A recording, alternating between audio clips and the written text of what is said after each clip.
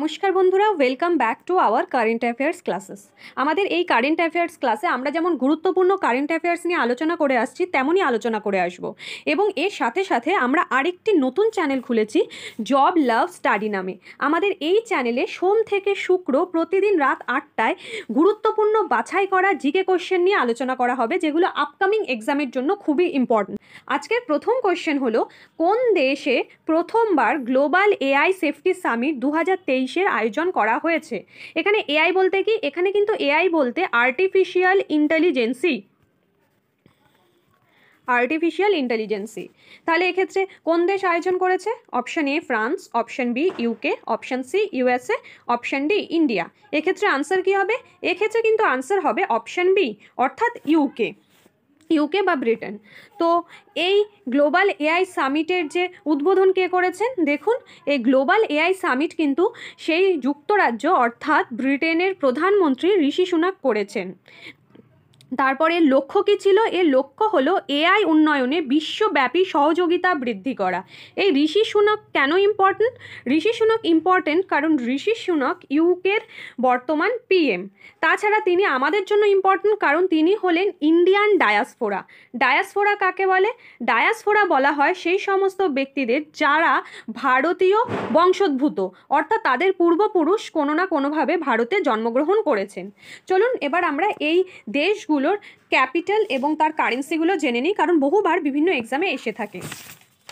যেমন এখানে ফ্রান্স। ফ্রান্সের ক্যাপিটাল কি? আমরা জানি ফ্রান্সের ক্যাপিটাল কিন্তু প্যারিস। কারেন্সি কি? ফ্রান্সের কারেন্সি ইউরো। ইউকে ইউকের ক্যাপিটাল আমরা জানি লন্ডন আর ইউকের কারেন্সি পাউন্ড। ইউএসের ক্যাপিটাল কি? ওয়াশিংটন ডিসি এবং এর কারেন্সি ডলার। ইন্ডিয়ার কারেন্সি কি? ইন্ডিয়ান কারেন্সি কিন্তু রুপি। নেক্সট কোয়েশ্চেন ভারতের নতুন সার্ভেয়ার জেনারেল হিসাবে কাকে নিযুক্ত করা হয়েছে? Option A, Hitesh Kumar, option B, V, Chandrasekhar, option C, Amal Majumdar, option D, Rajkumar Sen. এখানে আনসার কি হবে? এক্ষেত্রে আনসার হবে অপশন এ, অর্থাৎ হিতেশ কুমার। তামিলনাড়ু ক্যাডারের একজন ভারতীয় প্রশাসনিক পরিষেবা কর্মকর্তা হিতেশ কুমার এস মাকাওয়ানকে ভারতের সার্ভেয়ার জেনারেল হিসাবে নিযুক্ত করা হয়েছে। নেক্সট কোয়েশ্চেন ইউনেস্কো সম্প্রতি তার ক্রিয়েটিভ সিটি নেটওয়ার্ক, নেটওয়ার্কে কতগুলি ভারতীয় শহরকে যুক্ত করেছে? অপশান এ পাঁচ, অপশান বি চার, অপশান সি তিন, অপশান ডি দুই। এক্ষেত্রে আনসার কী হবে? এক্ষেত্রে কিন্তু আনসার হবে ডি। অর্থাৎ দুটি শহরকে এই ইউনেস্কো তার ক্রিয়েটিভ সিটি নেটওয়ার্কে যুক্ত করেছে। এই দুটি শহর কি কি? এই দুটি শহর হলো একটা কেরালার কোঝিকোড়। আমরা জানি কেরালার কোঝিকোর আরেকটি হলো গোয়ালিয়র, যেটা মধ্যপ্রদেশে অবস্থিত। কেরালার এই কোঝিকোর কেন ইউনেস্কোর ক্রিয়েটিভ সিটিজ নেটওয়ার্কে এসেছে? কারণ কেরালার যে কোঝিকোড়, সেটি সাহিত্যের শহর হিসাবে দেখুন, সাহিত্যের শহর হিসাবে পরিগণিত হয়েছে। আর মধ্যপ্রদেশের গোয়ালিয়রকে বলা হয় সিটি অফ মিউজিক অর্থাৎ সিটি অফ মিউজিক হিসাবে তাকে মনোনীত করা হয়েছে, যা আমাদের ভারতবর্ষের জন্য খুবই গর্বের বিষয়।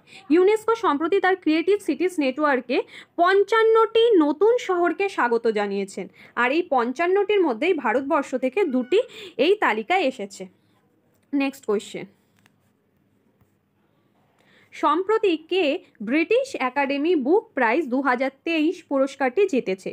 Option A Sudha Murty option B, Jon Fosse, option C, Narges Mohammadi, option D, Nandini Das. এক্ষেত্রে আনসার কি হবে? এক্ষেত্রে আনসার হবে অপশান ডি, অর্থাৎ নন্দিনী দাস। ভারতে জন্মগ্রহণকারী লেখিকা নন্দিনী দাস তার প্রথম বই courting India, England, Mughal India এবং দ্য অরিজিন অফ এম্পায়ার। অর্থাৎ কটি বই? Courting India, England, Mughal India এবং দ্য অরিজিন অফ এম্পায়ার। তার এই প্রথম বইটির জন্য তিনি গ্লোবাল কালচারাল আন্ডারস্ট্যান্ডিংয়ের জন্য ব্রিটিশ একাডেমি বুক পুরস্কার জিতেছেন। এই বইটির জন্য পুরস্কার জিতেছেন। সেটি কোন ক্ষেত্রে? সেটি হলো গ্লোবাল কালচারাল যে আন্ডারস্ট্যান্ডিং, তার বেসিসে তিনি এই academy book prize of British পেয়েছেন। নেক্সট কোয়েশ্চেন কেন্দ্রীয় অর্থমন্ত্রী নির্মলা সীতারামন কোন রাজ্যে বারোটি জিএসটি সেবা কেন্দ্র চালু করেছে?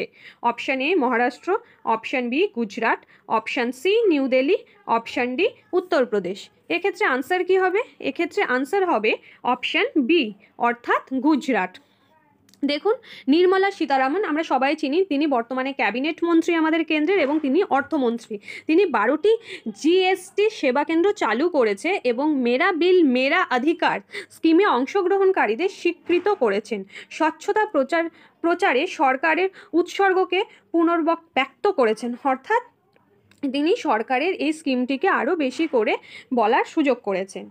এবার যদি, তাহলে এটা কোথায় হয়েছে বললাম? গুজরাটে করেছেন। মহারাষ্ট্রের বর্তমানে কে রয়েছেন সিএম? মহারাষ্ট্রের সিএম হলেন বর্তমান একনাথ শিন্ডে। মহারাষ্ট্রের সিএম একনাথ শিন্ডে। গুজরাটের সিএম কে? গুজরাটের সিএম হলেন ভূপেন্দ্র ভাই পটেল। নিউ দিল্লির কে সিএম? বর্তমানে নিউ দিল্লির সিএম হলেন অরবিন্দ কেজরিওয়াল। উত্তরপ্রদেশের যোগী আদিত্যনাথ। Next question. দু হাজার তেইশ সালের Satyajit Ray life time achievement award দ্বারা কাকে সম্মানিত করা হবে? Option A, Amitabh Bachchan, option B, Kaushik Ganguly, option C, Michael Douglas, option D, Wahid Rehman. এক্ষেত্রে কি হবে উত্তর? Waheeda Rehman, option D. এক্ষেত্রে উত্তর কি হবে? এক্ষেত্রে উত্তর হবে অপশান সি অর্থাৎ মাইকেল ডগলাস। তাকে লাইফ টাইম অ্যাচিভমেন্ট অ্যাওয়ার্ড দ্বারা মনোনীত করা হয়। Satya, Satyajit Ray life time achievement award বিশ্ব চলচ্চিত্রের শ্রেষ্ঠত্বকে সম্মানিত করার জন্য প্রদান করা হয়। তাহলে চলচ্চিত্রের শ্রেষ্ঠত্বকে সম্মান করতে কিন্তু এই অ্যাওয়ার্ড আমরা জানি সত্যজিৎ রায় কেন বিখ্যাত? সত্যজিৎ রায় ফিল্ম মেকার ছিলেন এবং তিনি পথের পাঁচালী এটিকে খুব সুন্দরভাবে ফুটিয়ে তুলেছিলেন। এই এই বছর কিংবদন্তি হলিউড অভিনেতা ও প্রযোজক মাইকেল ডগলাসকে এই সম্মান দেওয়া হয়। পুরস্কারটি প্রদান করা হবে the fifty fourth international film festival of India গোয়াতে করা হয়েছে। সেটা কবে করা হয়েছে? নভেম্বর টোয়েন্টিতে কিন্তু এটা হয়েছে। এই সম্মান দেওয়া হয়েছে। নেক্সট কোশ্চেন সম্প্রতি কে মিটি ক্যাফের উদ্বোধন করেছেন? মিটি ক্যাফটা কিন্তু খুব ইম্পর্ট্যান্ট এবং এটি এক্সামেও আসতে পারে। কে করেছেন? Option A Urjit Patel option B Shaktikanta Das option C D Y Chandrachud option D Raghuram Rajan এই মিটি ক্যাফে কি? এই মিটি ক্যাফে হলো এমন একটি ক্যাফে যেখানে সমস্ত প্রতিবন্ধীদের নিয়ে এই ক্যাফেটা চালু করা হয়েছে। কে তার উদ্বোধন করেছে? এর উদ্বোধন করেছে, এক্ষেত্রে আনসার হবে অপশান সি অর্থাৎ D Y Chandrachud D Y চন্দ্রচূড়ের full নাম কি? ধনঞ্জয় যশবন্ত চন্দ্রচূড়। তিনি কে? তিনি হলেন বর্তমান সুপ্রিম কোর্টের chief justice fiftieth chief justice. Urjit প্যাটেলকে Urjit Patel হলেন আমাদের ফরমার ফিনান্স মিনিস্টার অর্থাৎ প্রাক্তন অর্থমন্ত্রী ছিলেন। শক্তিকান্ত দাসকে শক্তিকান্ত দাস হলেন আরবিআইয়ের গভর্নর আরবিআইয়ের গভর্নর আর রঘুরাম রাজনকে রঘুরাম রাজনও কিন্তু আরবিআইয়ের প্রাক্তন গভর্নর আর শক্তিকান্ত দাস কততম গভর্নর বর্তমানে? Twenty fifth governor next question কোন ইনস্টিটিউট দিল্লি ও তার প্রতিবেশী অঞ্চলগুলির বাতাস দূষণমুক্ত করতে আর্টিফিশিয়াল রেন তৈরি করেছে?